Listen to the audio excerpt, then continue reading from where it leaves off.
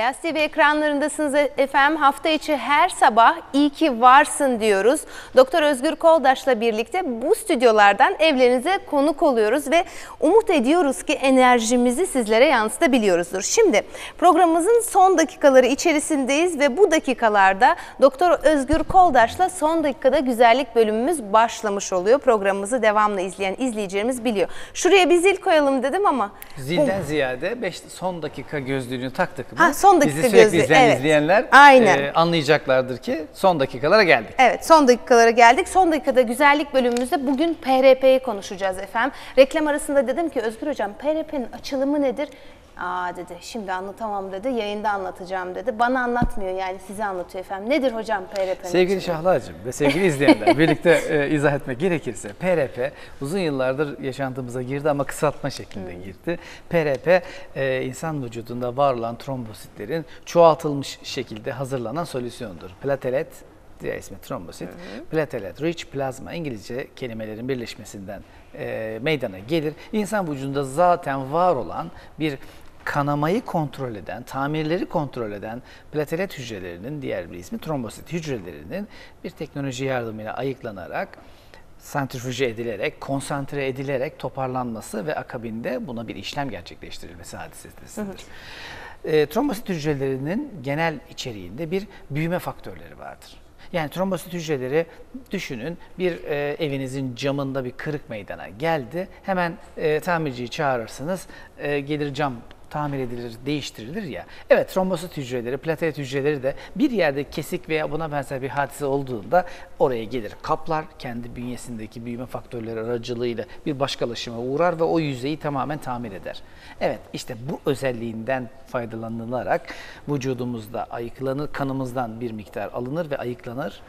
Doku içerisindeki büyüme faktörleri açığa çıkartılır ve doku içerisine enjekte edilir. Ee, koldan mı alıyorsunuz hocam? Kanı, kanı koldan, Koldan alıyoruz. alıyorsunuz kanı. Ve ne kadardır miktarı? Kaç cc? 8-10 cc civarında hazırlanan bir tüpler vardır. Ne kadar ihtiyaç varsa 8 cc'den birkaç tane 8 cc'lik tüp ihtiyacı varsa çalışacağımız alanın büyüklüğüne göre eee kan Trombositi miktarı ter- tercih oradan. edilebilir, alınır, işlemden geçirilir. E burada tabii biraz da e, halkımıza e, mesaj iletmek e, noktasında trombositleri e, alıp PRP yapabilmek amacıyla Türkiye Cumhuriyeti Sağlık Bakanlığı'nın onayladığı ölçütlerde bir e, standartlara sahip kitler kullanılması gerekir. Yoksa her deney tüpünün içerisine kan konulup karıştırıldığında evet Bu sarı bir sarı bir plazma sıvısı elde edilir ama onun adı plazmadır. Peki e, en çok hangi rahatsızlıklarda veya hangi sorunlarda PRP yöntemi en iyi sonucu veriyor? Birçok hastalık sayılabilir bunun için. Ancak doğru noktada, doğru teknik, doğru yerle yapıldığı takdirde hepsinde bir yüz güldürücü sonuç verilir. Yıpranmanın yaşandığı, aşınmanın, erozyonun yaşandığı her yer. Örneğin tepeden tırnağa e, yolculuk yapacak olursak saç dökülmesinde PRP'nin yeri vardır. Kıl köklerinin derinliklerine, kıl kök bölümlerine enjekte edilerek aktive edilir. E, yüzümüzün cildinde bir aşınma, e, kozmetikten, makyajdan, güneşten, hasarlanmalardan birçok şeyden yaştan kaynaklı bir hasarlanma var ve yıpranma varsa tamirleri için bir e, e, gerekçe gerekebilir, bir e, düzeltme e, imkanı doğabilir.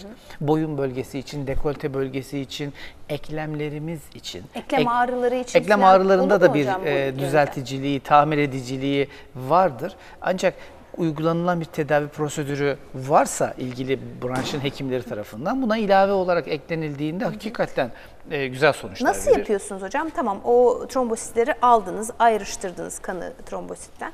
Ee, sonra onu alıp sürüyor musunuz yoksa farklı bir yöntem mi? Sürme şeklinde de yapılabilecek bir maske uygulaması daha Faydası. Hmm. kolay, daha yüzeyel alan için isteniliyorsa vardır. Ancak e, enjeksiyonlar şeklinde hekimin e, planlamasıyla yapılan uygulamalar biçiminde de uygulanabilir. Eklem içinde uygulayacaksak daha ince ve daha uzun iğnelerle eklemin içine girilerek yapılabilir. Eklem içerisindeki kıkırdağın tamiri şeklinde de oluyor olabilir. Bir zararı var mıdır hocam? Bu da son soracağım soru. Bu konu e, çok sık sorulan ve gerçekten de söylemekten çok da keyif aldığımız insanın kendi kanından elde edilen bir mamul olduğu için e, zararı olmayan hemen hemen birkaç uygulamadan birisidir. Evet şöyle ayağa kalktım hocamın yanına doğru geçiyorum.